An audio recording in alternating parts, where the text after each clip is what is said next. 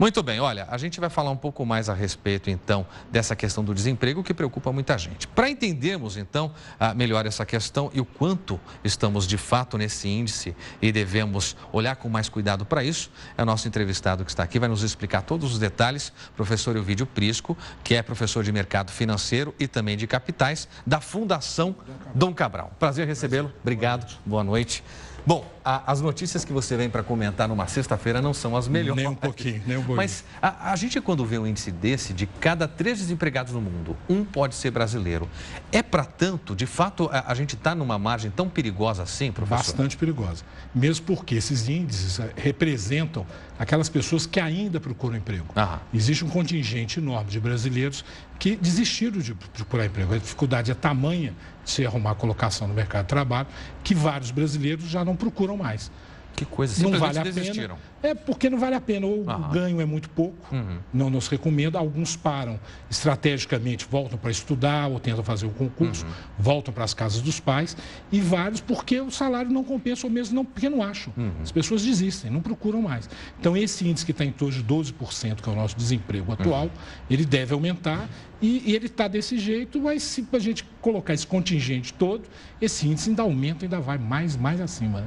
Agora, professor, a gente tem visto eh, inúmeras medidas que o governo vem tentando uhum. tomar para tentar equacionar essa questão.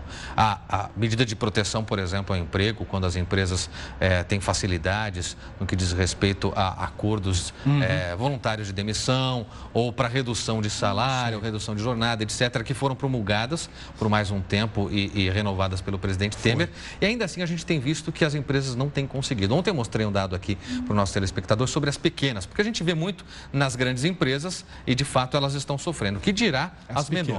E para a maioria dos empresários, a única forma de fugir da crise em 2016 foi demitir. Para mais da metade deles, essa foi a alternativa. Essas medidas não são suficientes. Onde que nós estamos errando? Nós estamos errando porque a economia não está crescendo. Hum. A primeira coisa que se tem que fazer é a economia crescer. Se a economia volta a crescer, o empresário volta a investir. O que, que é voltar a investir? A comprar fatores de produção. Uhum. Contratar pessoas, comprar matérias-primas. Isso, por sua vez, vão gerando empregos naquelas indústrias, naqueles setores onde são comprados esses fatores, o emprego volta. Uhum. Todas as medidas tomadas até agora, nenhuma delas é, é, é elenca-se em alguma coisa muito forte para a retomada econômica. Uhum. Algumas coisas muito paliativas, como, por exemplo, a diminuição dos juros agora ele é muito bem-vindo, mas o efeito dele vai demorar uhum. e é muito pequeno, porque é os juros da taxa Selic, Exato. que é o, o, o, título financeiro mais, eh, mais importante do uhum. país. Para o empresário ou para nós, pessoas físicas, a taxa de juros ainda é muito alta. Uhum. Né? Então, todas as medidas que foram tomadas no contexto de política econômica, de ação sobre o processo econômico, nenhuma delas faz com que a economia volte a girar. Por isso que o desemprego é alto, por isso que o desemprego, por isso que, o, que o empresário está tão uhum. desalentado e todas as pessoas vão junto. A gente está falando do pequeno investidor e mais uhum. cedo eu citei também o grande investidor. Eu me lembro de uma entrevista concedida pelo presidente da Mercedes aqui no Brasil, uhum. que é alemão, no isso. começo do ano passado, antes até do processo de impeachment, quando ele dizia o seguinte: o Brasil vai ter uma enorme dificuldade de sustentar as multinacionais que estão aqui e uma dificuldade ainda maior de atrair novas empresas para cá.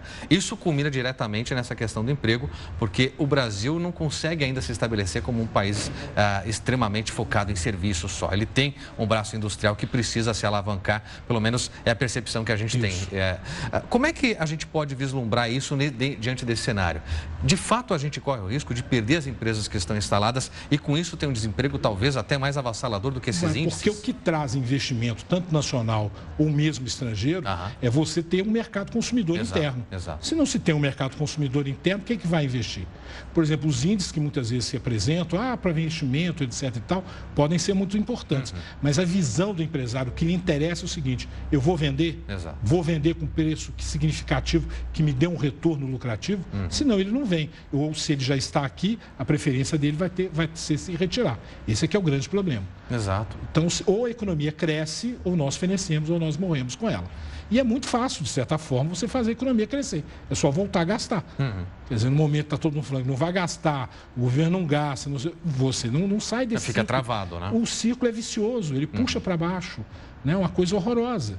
E a penalidade para as pessoas, para as famílias é muito grande, né? Uhum.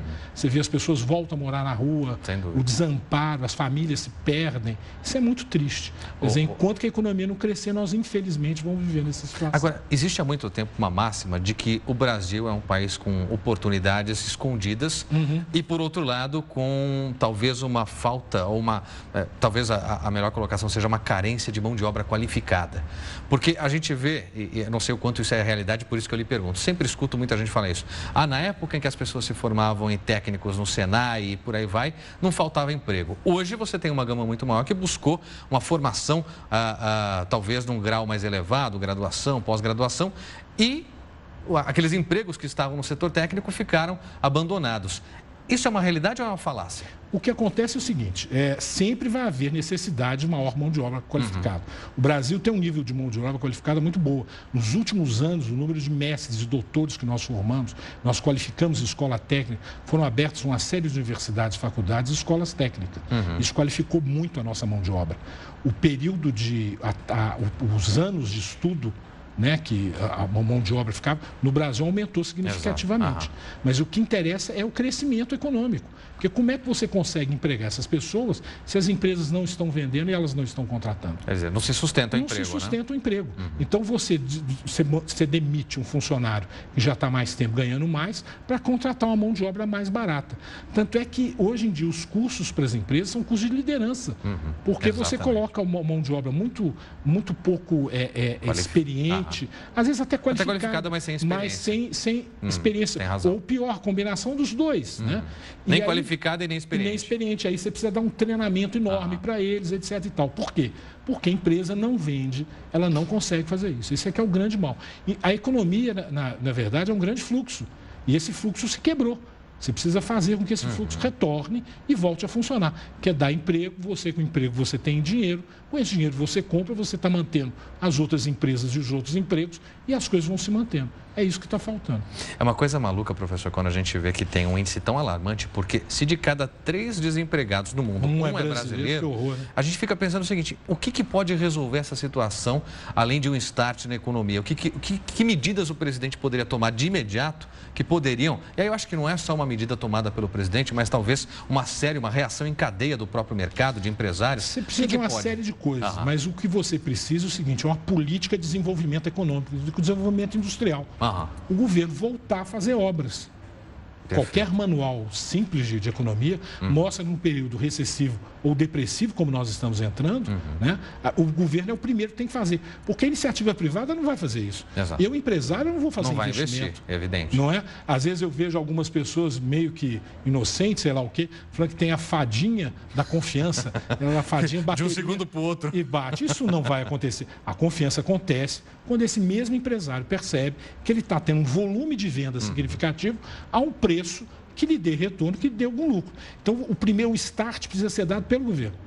A única saída que nós temos agora é essa. O governo começar a fazer hum. de novo as obras, voltar ao PAC, o seja PAC, eu ia te for. perguntar sobre o PAC. Eu vi essa Talvez semana, possa... eles estão num, num buchicho Aham. que deve voltar. Eu não vi nada de concreto até uhum, agora. Uhum. Mas é o momento que, que, que tem que fazer isso mesmo.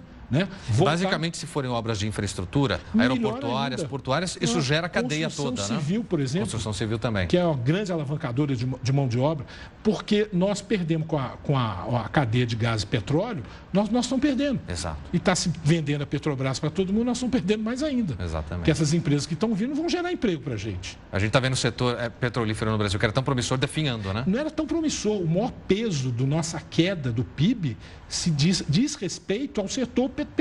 Que coisa. Isso é uma coisa horrorosa. Quer dizer, a Lava Jato está quebrando as nossas empresas, que prendam os bandidos, todos eles, ninguém é favorável a bandidos. Mas salve as, as empresas. empresas. Exatamente. Inclusive, as empresas que estão vindo americanas pela sua última concorrência, todas elas têm problema na justiça americana. Nossa. Então mas vai trazer um problema externo para cá. O americano é sábio. Ele ah. prende o bandido, mas preserva a empresa. Perfeito. Que é riqueza, geração de riqueza para todos. É, é, isso que está faltando acontecer. Que está faltando para nós. Professor, para a gente encerrar, eu vou te pedir para comentar os resultados de uma tela que nós vamos uhum. colocar no ar agora, que traz também alguns dados bem interessantes. Vamos dar uma olhadinha nessa tela então.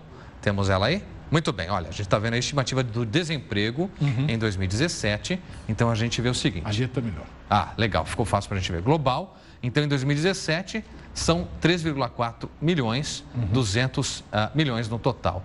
Só na América Latina e Caribe, 1 milhão e meio 26,6 milhões no total. E o Brasil, esse dado triste.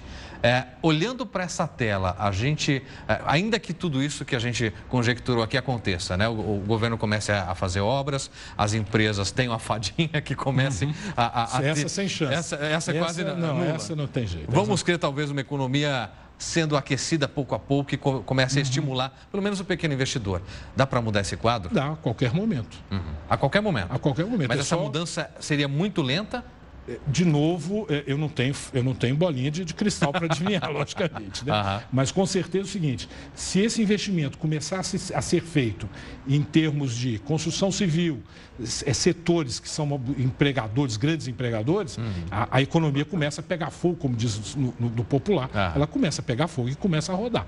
Né? Isso depende do volume de investimento e desse efeito de renda e de gastos que vai gerando esse fluxo para que esse fluxo volte a fluir e volte a ser bom e dando a prosperidade que a gente precisa, que a gente tinha algum tempo atrás, né? Perfeito. nós perdemos. Professor, eu confesso que quando eu vi esses números, eu falei, não é possível, tem alguma coisa errada nisso. Não, tá certo. Mas te ouvindo, é, é a gente fica Mas mais Mas tem saída, a gente não pode é falar, não tem jeito, Aham. ter jeito tem.